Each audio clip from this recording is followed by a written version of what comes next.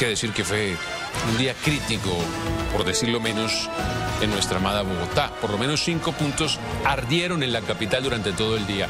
Además del incendio, en los cerros, que ya justo recordemos casi 72 horas activo, el Cerro del Cable, Ciudad Bolívar y el humedal Tibanica tienen en jaque a las autoridades. Allí están, por supuesto, nuestros reporteros, nuestros compañeros, todo el día al pie del cañón contándonos paso a paso cómo avanza esta situación. Comenzamos con don Esteban Bejarano. Cuéntenos qué pasó en el Cerro del Cable, que fue el último afectado y donde se están realizando muchas labores para contener las llamas. Adelante.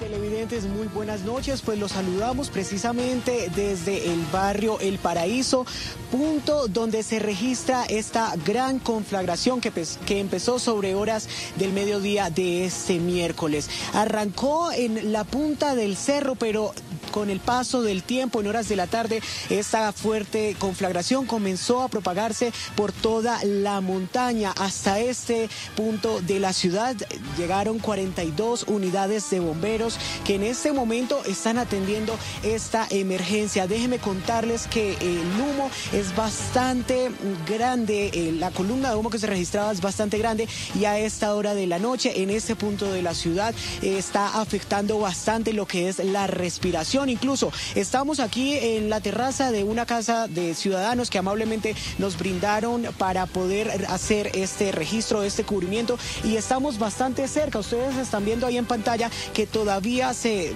ven varias eh, llamas en medio de la vegetación que se encuentra en este cerro y hasta aquí comienzan a caer algunas eh, partículas de cenizas por esta fuerte conflagración. En el punto se encuentran dos máquinas extintoras, cuerpo de bomberos bomberos pues está allí arriba intentando mitigar las llamas también con el apoyo de los ciudadanos. Ustedes en imágenes también están observando pues cómo se encuentra todo el panorama en este punto de la ciudad, en la localidad Chapinero, en los cerros orientales del batallón de desastres del ejército. Hay 34 personas también ayudando a controlar este incendio. En horas de la tarde, un helicóptero con un Bambi Bucket estuvo eh, pues echando agua desde las alturas para poder que las llamas por esta fuerte conflagración pues se mitigaran en horas de la tarde. Sin embargo, aquí les traemos un recuento de lo que fue este incendio y de lo que ha sido hasta ahora.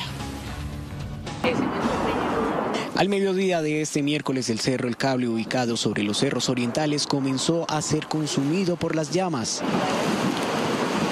Rápidamente la conflagración que inició en la punta del cerro tomó fuerza y se expandió por la colina. Desde varios puntos de la ciudad una gran columna de humo se registró. Mucho miedo, mucho miedo por el incendio, porque nosotros vivimos acá, nosotros vivimos acá cerquita, vean, nos da miedo que, que, siga avanzando y nos da miedo. En medio de la vegetación se vislumbraba como por momentos las llamas se avivaban cuando hacía viento.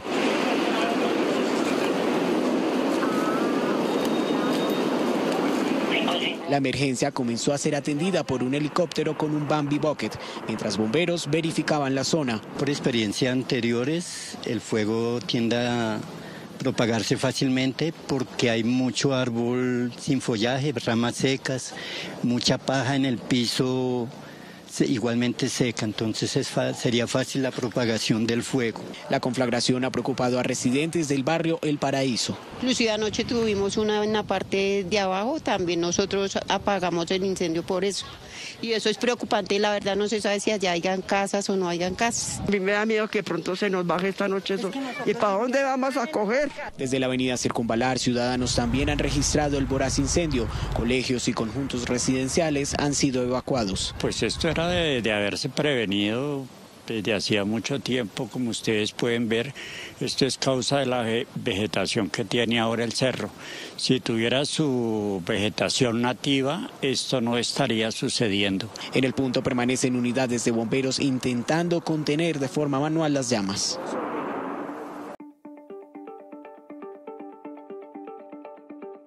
Suscríbase a nuestro canal de YouTube, active la campana y no se pierda las últimas noticias.